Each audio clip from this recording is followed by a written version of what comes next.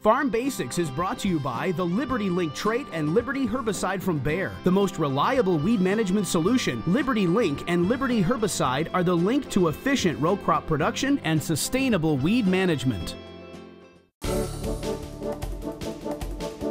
During our Farm Basics time today, we wanted to discuss corn leaf stages and how you can identify them. Now, as a non-farmer, you may be saying, well, why do I care? But I just think it's kind of interesting as a farmer, well, so I like talking about it. It is kind of interesting, but you have to think about things this way.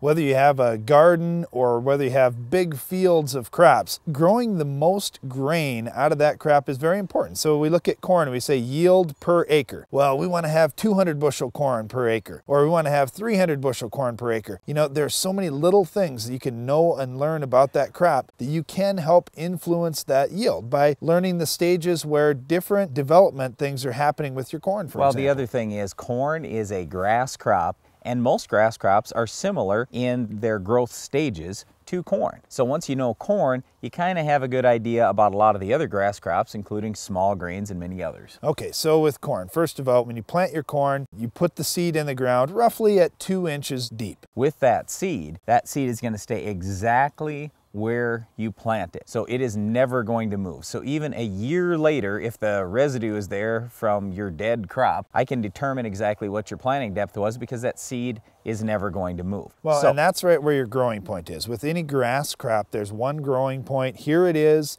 right where that seed's at to start with. Yep. Now, the first thing that comes out of the ground is just going to be leaf tissue. So when farmers are concerned early in the season, like this year we had a frost scare and there was some corn that was up that got burned off a little bit. Well, that for the most part is just leaf tissue that's above the ground. Okay, but let's not jump ahead too far here. The first thing that's going to come out of that little seed there's going to be a little sprout that's going to come out and that's going to head upwards. We also have roots that are going to head downwards. The two root systems that are going to come out in the beginning are the radicle root, that's first, and then the seminal root. They're coming right out of that seed or out of the germ, we call it, of the seed. As you're moving up, there are actually going to be a set of nodal roots that happen above the seed, yet still below the surface of the soil. There will actually be five rings of those nodal roots that will be below the surface of the soil if you plant your corn at the proper depth. And here's what they correlate to. Above ground, we have different stages of growth growth. And it's not the number of actual leaves that you see, it's the number of leaf collars. So when we reach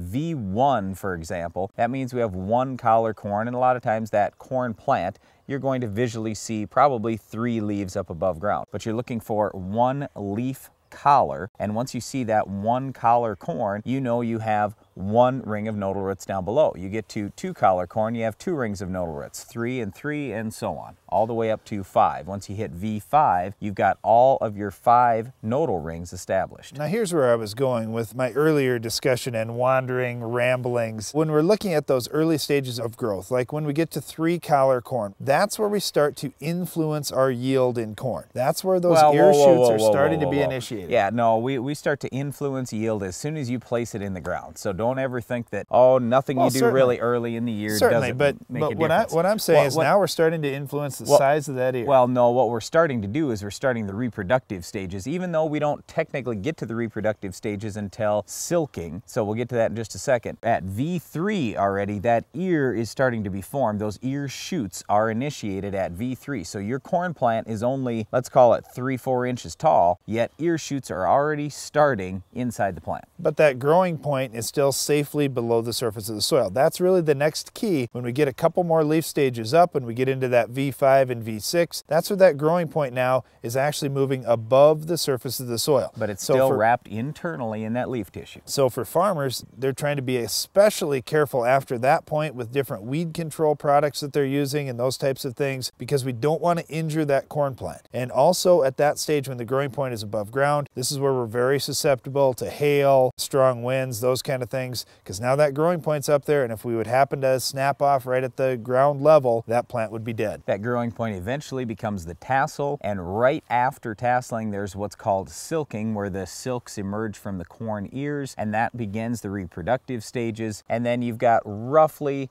60 days of reproductive stages, and then you're going to have, hopefully, dry down and maturity in the fall. Well, it's important to understand any crop that you're growing, whether it's corn, as we just went through the growth stages of corn, or anything out there, especially when you're thinking about weed control. If you understand when those weeds are susceptible, you can wipe them out from your field. Can You identify this week's weed?